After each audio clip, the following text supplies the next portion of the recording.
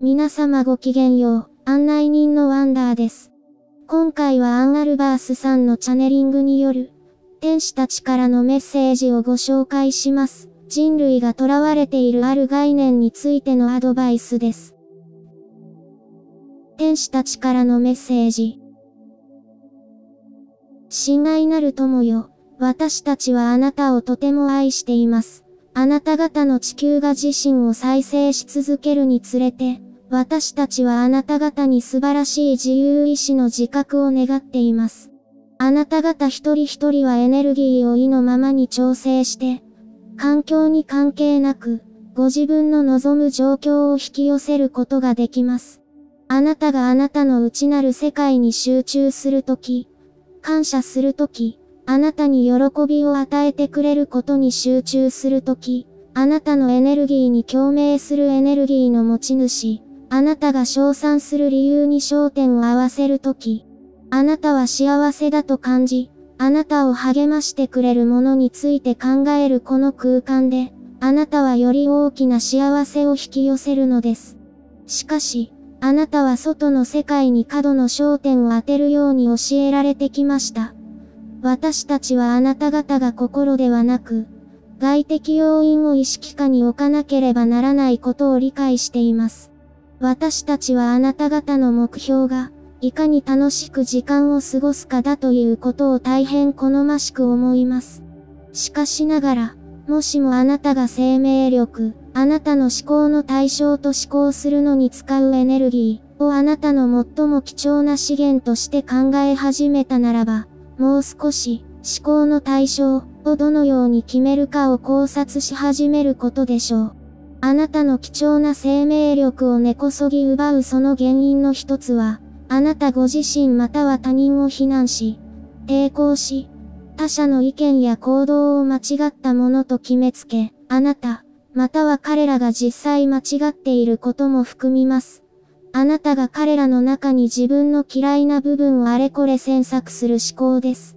他の人の意中を詮索したり、他の人の中にあなたが嫌悪感を抱く部分に焦点を合わせることの代わりに、何を先においてもあなた自身の心の中に焦点を合わせます。もしあなたが親指だったとします。あなたは自分自身を他の指と間違えたり、小指があなたの意見に同意するべきと主張したりすることなど決してありませんよね。薬指にはめられている指輪に嫉妬したり、人差し指に注目をしてみたりなどしないでしょう。親指だとして、あなたは親指があるべき位置、その役目と目的を持っていることを知っているでしょう。あなたは親指として、立派に物を掴んで移動させるのが目的で、他の指の手助けをするという動作を楽しむことでしょう。親指のあなたは、体全体の一部として、コンピュータのスペースバーを押したり、携帯端末を素早くタイプしてみせるなど、親指だという誇りを持つことでしょう。あなたは、他の指たちのそれぞれが、体の異なった位置に落ち着き、その存在自体に目的を持っているという事実を理解するでしょう。指のどれもがお互いの位置、視点、目的について特別視する必要はありません。手はより大きな事故です。手は、常に各指が調和して目的を果たすべく働くように導いています。同様に、あなたがご自分以外の人々に同意する必要はありません。ご自分の視点が他者にとっても同様に正しくあるべきだと主張する必要もありません。そして、あなたは他者の正論に同意する必要すらありません。無理にご自分の反論を議論したり、嫌いや同意したりする必要もありません。あなたにはあなたらしく存在する権利があります。聞く気があるなら聞いてください。ただあなたの優しくて、素晴らしい事故であり続けてください。神はあなたの、より大きな事故、であるため、あなたを含むすべての人には、内なる、神のホットライン、を持っています。神は、すべての人間の身体部分が互いに調和の取れた状態に機能させます。まるでダンスを踊っているかのように各部がスムーズに仕事するように保ち、共存させる力があります。例えば心臓や神経が互いに邪魔し合うことなく一緒に調和をとっているように、あなたの体中のたくさんの細胞が機能するために、体内の多くの細胞が必要な分だけ自分の姿を変化させ、機能しています。例えば、心臓に骨があったり、骨の中に心臓があったりはしませんよね。もし、あなたが自分自身の心に耳を傾け、その瞬間瞬間に最も心地よいと感じる行動をとるなら、あなたはあなたに共鳴してくれる人々を人生に引き寄せることができるのです。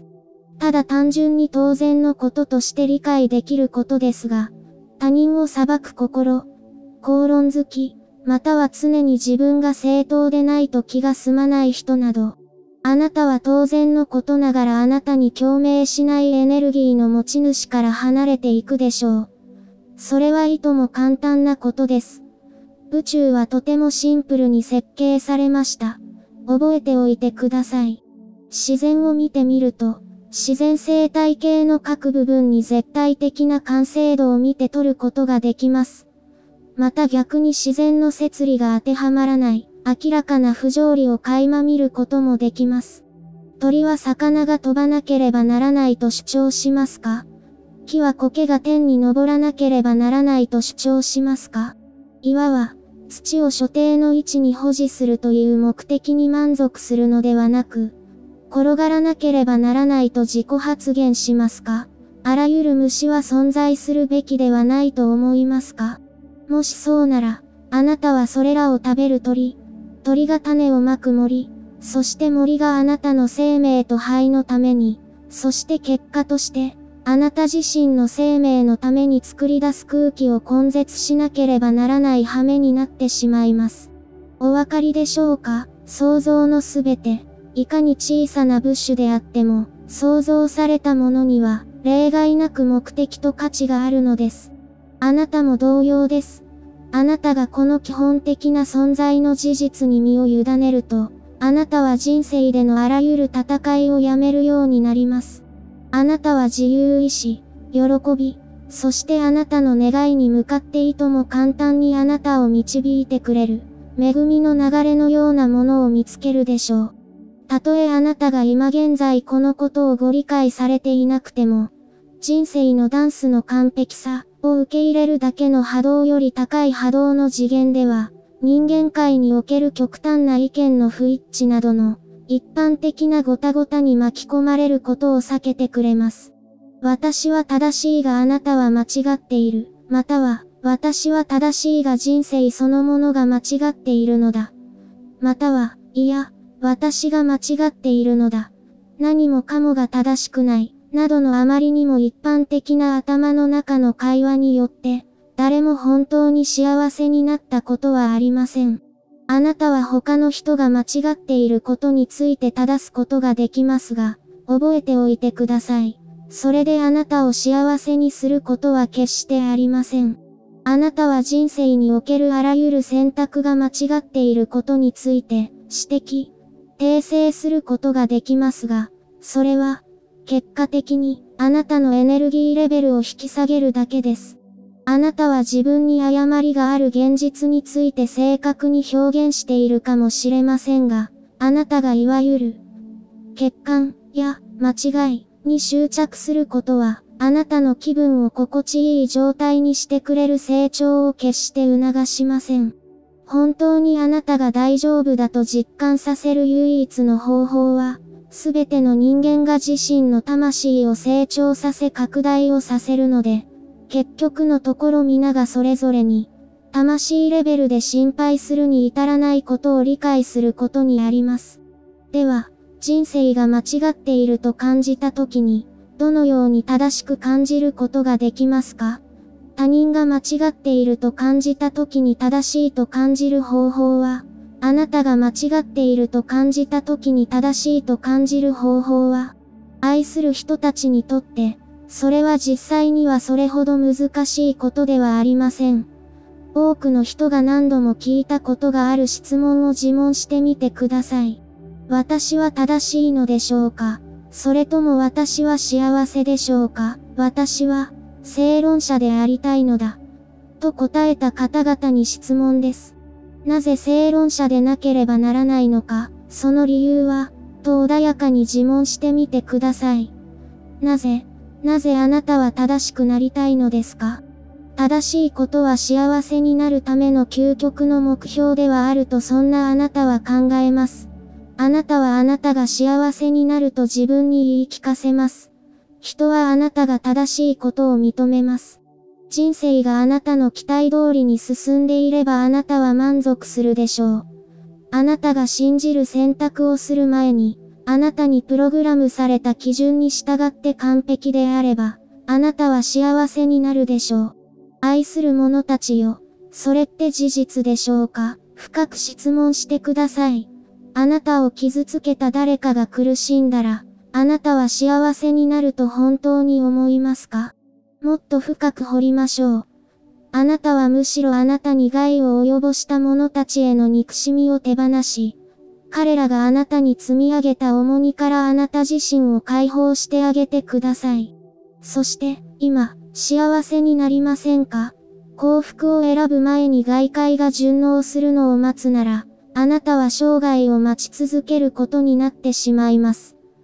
正しい。ことは人間の精神に深く根付い。てい。ます。あなたは自分の価値、アイデンティティ、そしてあなた自体の存在が間違ってい。る、と脅かされてい。ると感じるように訓練されてきてい。ますが、創造主の目には自分の価値を無効にするものは何もありません。すべての創造におい。て、あなたが果たす貴重で完璧でユニークな役割を無効にするものは、何一つ存在しないのです。あなたのエゴは脅かされていると感じるかもしれませんが、あなたの魂、あなたの創造主、そしてあなたの天使たちは皆あなたの真の価値を知っています。何よりも、外部の検証とは関係なく、自分の価値を真に受け入れると、ご自分の存在の尊さを簡単に反映できる。好都合な人物や外的状態をあなたの人生に呼び込むことができます。それまで、もしあなたが自分が常に正当意見に固執し、他人がご自分に同意する必要がある場合、見返りを手にすることに苦労する可能性が出てきます。例えば、渋滞に巻き込まれた場合、目の前の車のせいにすることができます。君の言う通りかもね。遅く家を出たことで自分を責めることもできます。君の言う通りかもね。十分な車線がないことで街の通りを避難することができます。君の言う通りかもね。あなたが車のクラクションを鳴らし不満を表現することができます。そしてあなたの前の車は後ろの車めがけてクラクションを鳴らし返します。状況はさらに悪化することになる可能性があります。または、避難をやめて、私は今、交通渋滞に巻き込まれている。現状を変更できない。遅れる可能性もある。そうだ。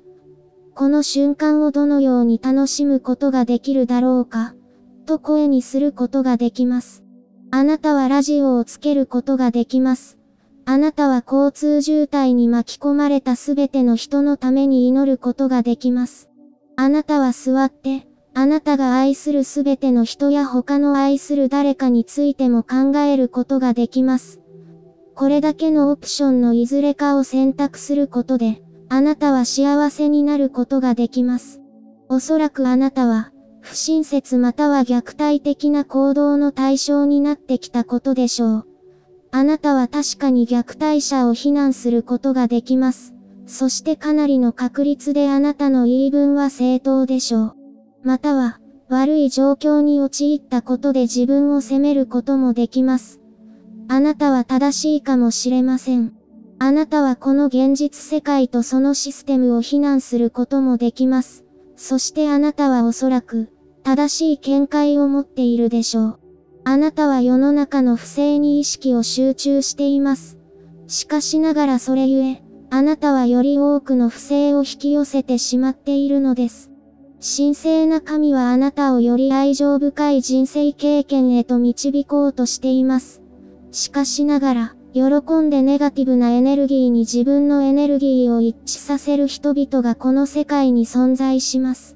ご自分の正当性を主張するよりむしろ幸せになりませんか？自分がどれだけ成長したか、あなたを傷つけた人たちとご自分がどれだけ違うか、あなたは将来的にどこに向かっているのか、いかにあなたが精神的に強いか、そしてあなたの人生における良いことに焦点を当ててみませんか？不親切な人に力を与えるのをやめて、喜びを取り戻してみませんか？親愛なる友人たち、すべてあなた次第なのです。ご自分を励ましてくれる考え方に焦点を合わせるのは一種の選択なのです。私たちはあなたが正当であることは、あなたが幸せであるよりも優先されるべきだと、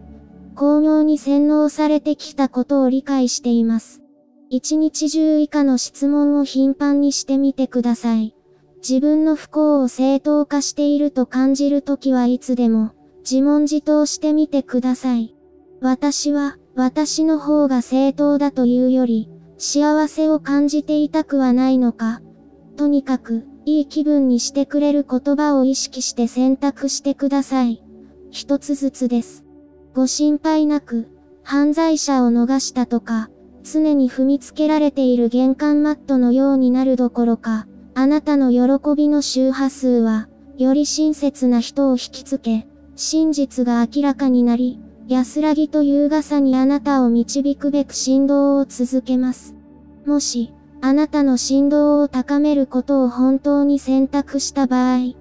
例えば正しいとか間違っているとかをやめ、高いエネルギーで振動している宇宙の力を信頼し、成り行きに身を任せてください。愛する皆さん、よく聞いてください。その行動はあなたがより大きな幸せに波長を合わせていることを意味します。そうすることで、あなたは間違っている。と感じる人々や状況を解放し、最終的にはあなたにとって最も正しい道に沿って進みます。それが幸せであなたにとって正しい道なのです。